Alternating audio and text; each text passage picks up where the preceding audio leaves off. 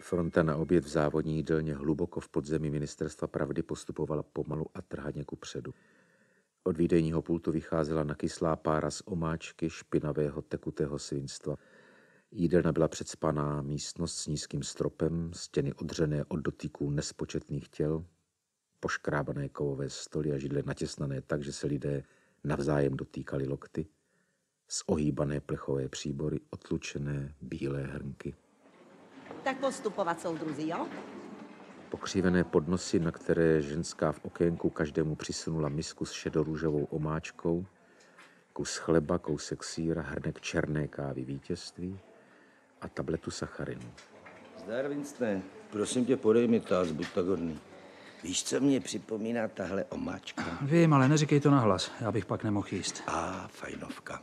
Já, když mám hlad, tak mi žádný řeči nemůžou jídlo znusit. A, podívej, pod obrazovkou je volný stůl. já fakt nechápu, proč si tam nikdo nechce sednout. A víš, že já také ne? Jako kdyby to nebylo jedno.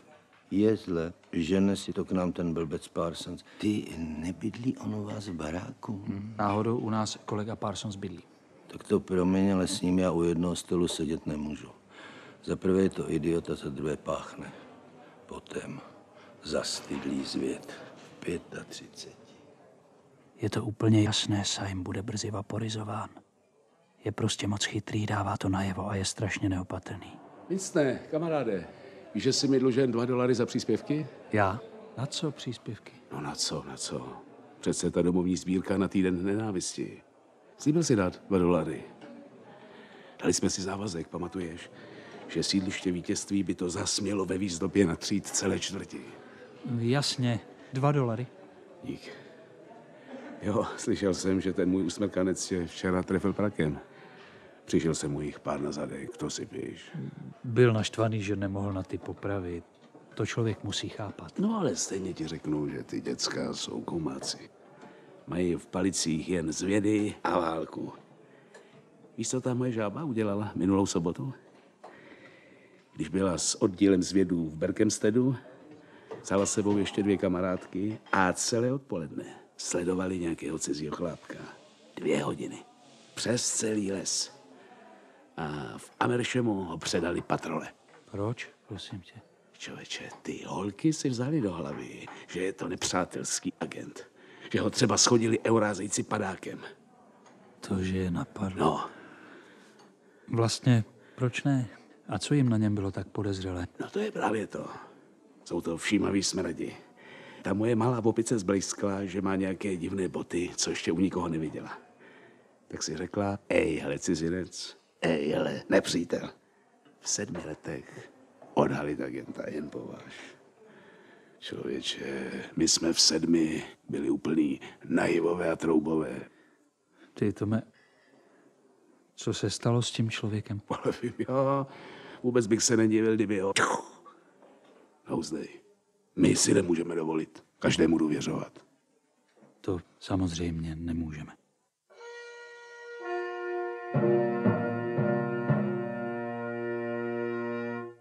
Soudruzi, věnujte prosím pozornost této mimořádně důležité zprávě. Oznamujeme vám, že jsme vítězně završili jeden velký výrobní zápas. Právě jsme obdrželi vědecky vyhodnocenou zprávu, že za minulý rok stoupla životní úroveň neméně než o 20% V celé oceánii propukly dnes spontánní manifestace, statisícové davy pracujících vyšly z továren a úřadů a pochodovali ulicemi s transparenty vyjadřujícími vděčnost naší straně a především velkému bratrovi za nový šťastný život, který nám svým moudrým vedením zajišťuje.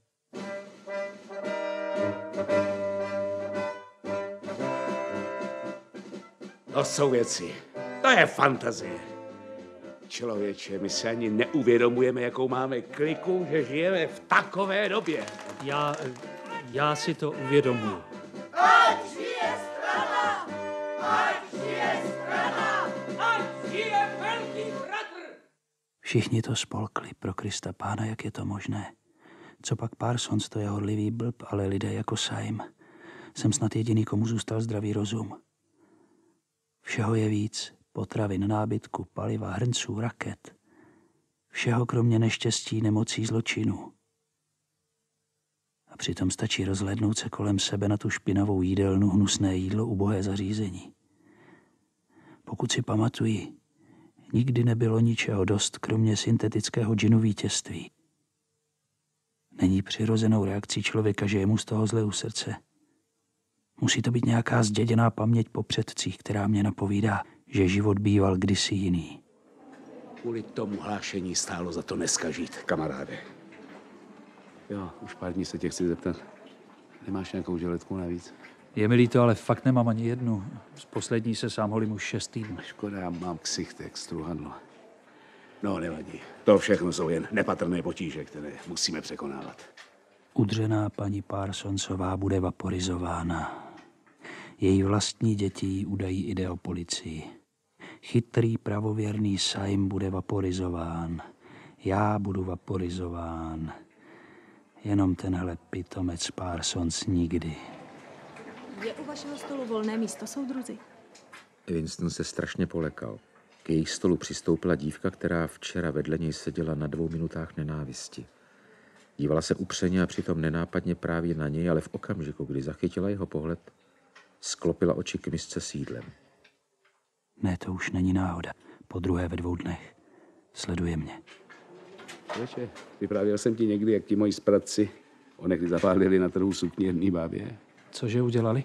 A proč? Balila klobásy do plakátu s velkým bratrem.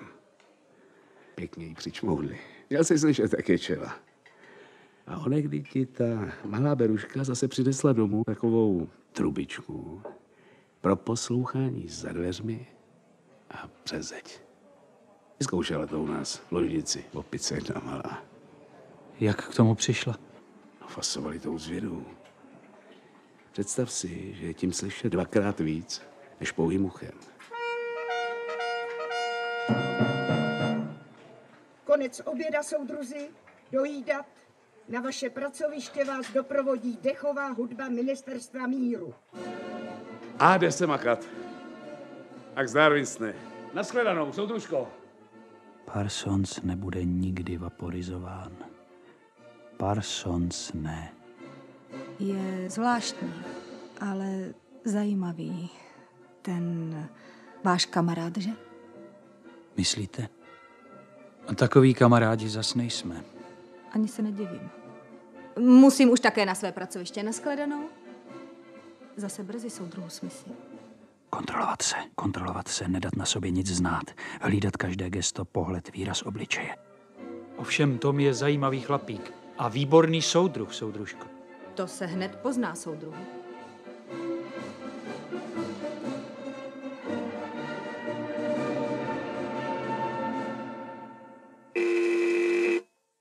Velký bratr tě sleduje. Velký bratr tě sleduje. Samota je strašné prokletí, které můj život dělá ještě o moc těžším. Mít si tak s kým pohovořit, když potřebuji poradit, svěřit se. Snad by celá moje existence byla snesitelnější. Winston odložil pero. Vzpomínka na jeho ženu Catherine vrátila jeho myšlenky o téměř jedenáct let naspátek. Winstone, Henry, člověče, tebe už jsem... dobré dva roky. Co je s tebou? O pořád to samé. Zaměstnání a vůbec. A ty? Měl jsi nějaké potíže, viď? Dá se to tak říct, ale dostal jsem se z toho. Akorát mě poslali na africkou frontu. Vidíš, kulám. Jinak pořád stejný. Slyšel jsem, že jsi vzal Catherine. Je to přesně rok a čtvrt. to si náhodou pamatuji naprosto přesně. Uměl jsi vybrat Kate. Vysoká, štíhlá, blondýna, tvář jako antická bohyně. Pořád je tak krásná? Pořád v tomhle směru jí nic nechybí. A v jiném směru? Bývala trochu jednoduchá. Neurazil ses. Vůbec ne. Jednoduchá. Kamaráde, kdybys věděl, jaké to je, když pár týdnů po svatbě zjistíš, že tvá krásná žena je to nejhloupější, nejvulgárnější a nejprázdnější stvoření na světě. Vzpomínám si, že bývala taková hm, hodně aktivní v lize mladých. Aktivní v lize. Co tedy byla? Kdybych ti tak mohl říci naplno, že neměla v hlavě jedinou myšlenku, jen hesla, že neexistovala jediná blbost, kterou by nedokázala spolknout, když jí naservírovala strana, jako gramofon, když se zadrhne jehla v drážce. Měla vždycky trochu sklon k papouškování toho, co slyšela, to je pravda. Taková krásná ženská má za to jiné klady. Myslíš? Kdyby to tak bylo, všechno bych jí odpustil. Jestli pak víš, jaké to je, když obejmeš dřevěnou figurínu. Dotkneš se jí a ona stuhne.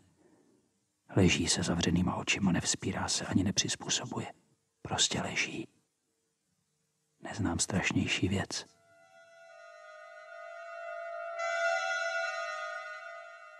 Katrin, ty nejsi moc ráda, když se milujeme, viď? Jak to myslíš? Tak připadá mi, že přitom nic necítíš. Že tě to netěší. Nebo se aspoň tak tváříš. Promiň, ale o těchto věcech se nehodlám bavit. To... To je prostě nemravnost. Cože to je? Nemravnost. Ale Kate, mysli trochu. Je to přece ta nejpřirozenější věc na světě, když se muž a žena mají rádi. Potěšení, čistá radost. Promiň, Mincne, ale tady se naprosto rozcházíme v názorech. Pro tebe radost, pro mne povinnost. Kriste, pane Kate, já nechci, aby si se mnou spala z povinností vůči mně. Vůči tobě? Ale to se hluboce mílíš. Z povinnosti vůči straně. Kate, víš, co mluvíš? Proč jsi mě tedy brala, když se mnou nechceš? Poslouchej, co kdybychom tedy přešli na takový, řekněme, manželský celibát? Nepřichází v úvahu. Musíme přece splnit eh, svoji povinnost vůči straně a přivést na svět děťátko. tak se nemrač a pojďme se dohodnout. Bude ti to vyhovovat jednou týdně? Jestli pak víš, jaký je nejodpornější den v týdnu, Henry. Jaký? Nezapomeň, Winston, dnes je sobota. Večer budeme dělat děťátko. Sobota, Henry, sobota. Ale nechtěj, abych to vysvětloval. Ostatně Kate už je stejně minulost. Před týdnem jsem od ní odešel. Strana to povolila, když nebyly děti.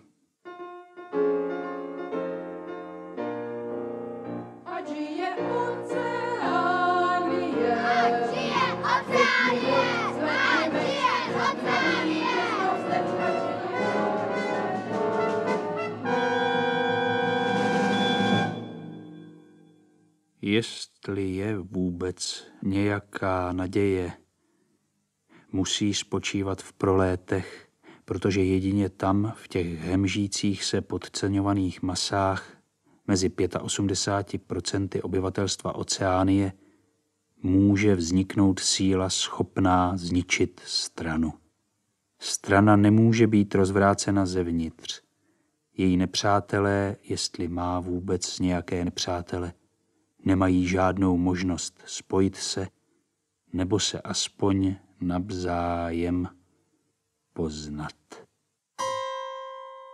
I kdyby existovalo legendární bratrstvo, jakože snad existuje, je nemyslitelné, aby se jeho členové mohli scházet ve větším počtu než po dvou nebo po třech. Strana nemůže být zničena.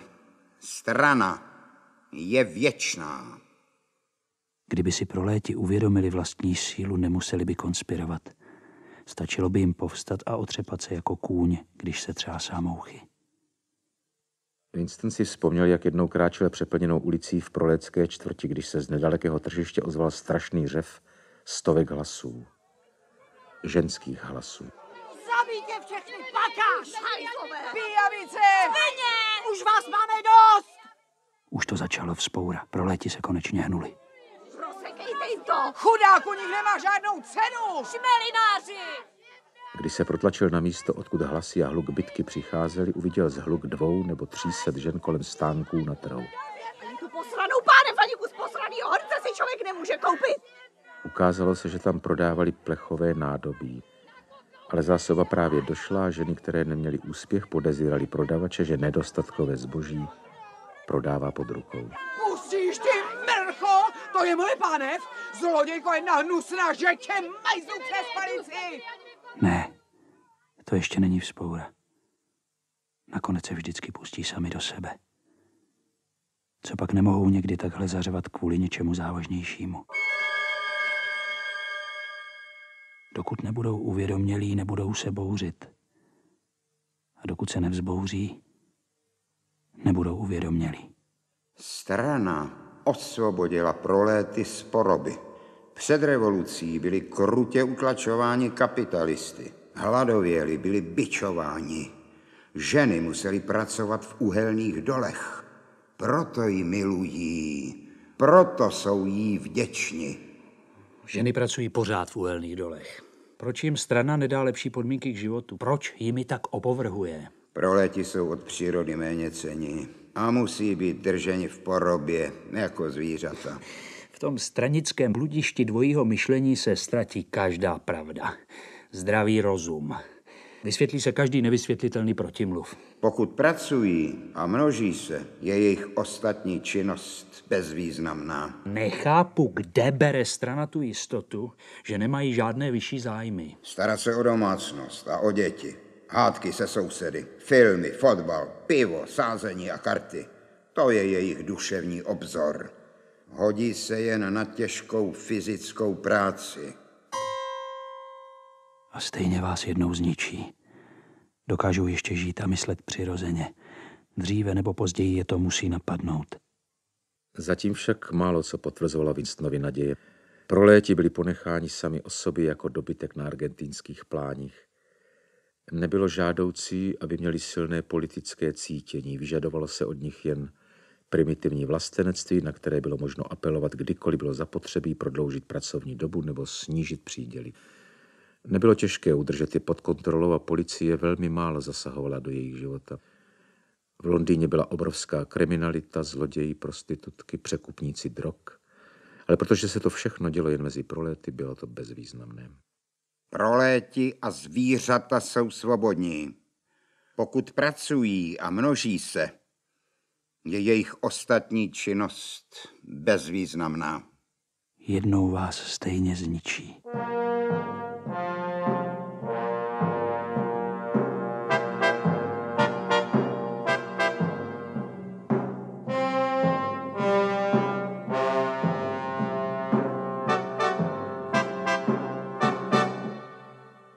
Za starých časů, před slavnou revolucí, nebyl Londýn tak krásné město jako dnes. Bylo to temné, ubohé, špinavé místo, kde se téměř nikdo dosyta nenajedl a kde stovky a tisíce chudých neměli boty ani střechy nad hlavou. Děti museli pracovat 12 hodin denně u krutých mistrů, kteří je byli a živili jen suchými kurkami a vodou. Ale uprostřed této strašné chudoby žili někteří lidé v nádherných palácích a ti měli až 30 sluhů, kteří se o ně starali. Tito bohatí mužové se nazývali kapitalisté. Byli to tlustí, škaredí zloduši s cylindry na hlavách. Vlastnili všechno na světě. Půdu, továrny, domy a veškeré peníze. Když je někdo neposlechl, mohli ho uvrhnout do vězení nebo vyhodit z práce a nechat umřít hlady. Když obyčejný člověk mluvil s kapitalistou, musel se před ním krčit a klanět se mu, smeknout čepici a oslovovat ho pane. Hlavní kapitalista se nazýval král. A tak dále, a tak dále. Církevní hierarchie, šlechta, privilegia. Kdyby to nebyla školní učebnice, psali by snad i o právu první noci. Je to asi všechno nesmysl. Ale jak se mám dovědět, co je skutečná pravda? Nemám vlastní zkušenost, nemám s čím srovnávat. Jak poznat, jestli před revolucí to bylo opravdu horší než teď? Jediným důkazem, že to není pravda, je nesouhlas, nedůvěra, instinktivní pocit, že podmínky, v nich žijeme teď, jsou nesnesitelné, ponižující a že kdysi museli být jiné. Statistiky dokazují, že dnes mají lidé víc jídla, šatů, že lépe bydlí, že jsou zdravější a šťastnější než lidé před 50 lety. Je ale vůbec možné, že existovalo něco horšího, než je ta dnešní nuzota, strach, nejistota, tlačenice v podzemní dráze, ta ošuntělost a nedostatek prakticky všeho. To je opravdu každé slovo o minulosti lež. Winstonovi se všechno rozplývalo v mlze. Minulost byla vymazána, vymazání zapomenuto. Lež se stala pravdou. Jen jedinkrát v životě jsem měl v rukou konkrétní neomylný důkaz falzifikace. Půl minuty. Bylo to před nějakými jedenácti roky, ale událost, které se týkal, se stala ještě asi o osm let dřív. Na všechno se jasně pamatuji. Pouhá paměť člověka klame a mizí současně s ním. Strana má vždycky pravdu. Ne, tentokrát ne. Událost, kterou mám na mysli, začala někdy v polovině 60. let v období velkých čistek. V nichž původní vůdcové revoluce byli jednou provždy vymazáni z historie. Zrádci a kontrarevolucionáři. V roce 1970 už z nich nezbyl ani jediný, kromě velkého bratra. Revoluce. Strana se museli zbavit za prodanců a renegátů. Mezi posledními byli zatčeni tři z nejzasloužilejších, Jones, Aronson a Rutherford. Jones, Aronson, Rutherford se ve veřejném procesu. V inscenovaném procesu. Ve veřejném procesu jim bylo dokázáno, že se dopustili těžkých zločinů. Z pronevěry veřejných prostředků, vražd, věrných členů strany, sabotáží a špionáže ve prospěch nepřítele. Tak proč dostali milost a výhodná místa? Spíš sinekůry. Přiznali se. Veřejně a dobrovolně. Analyzovali příčiny svého odpadlictví a slibovali, že se napraví. Jenomže to všechno bylo jinak. Ta špionáž ve prospěch nepřítele i dobrovolné přiznání. Já je totiž na vlastní oči viděl. Došlo k tomu v kavárně pod Kaštanem, kde se scházeli umělci, politikové, kteří upadli v nemilost a různé zkrachované podivné existence. Winston je tam viděl krátce po jejich propuštění. Chodili tam denně a mlčky se dávali u jednoho stolu před sebou sklenky džinu vítězství z příchutí hřebíčku, specialitu kavárny. Číšník jim sám od sebe doléval. Mohl jsem na nich oči nechat. Stále na nich ulpívala jakási gloriola ilegálního boje a občanské války. Pochybná proslulost zrádců, kteří litovali svých zločinů. Jejich jména byla známa ještě předtím, než se objevilo jméno velkého bratra. V tom se stalo něco nevysvětlitelného. Melodie z obrazovky se rázem změnila. Pod košatým kaštanem prodali jsme se navzájem.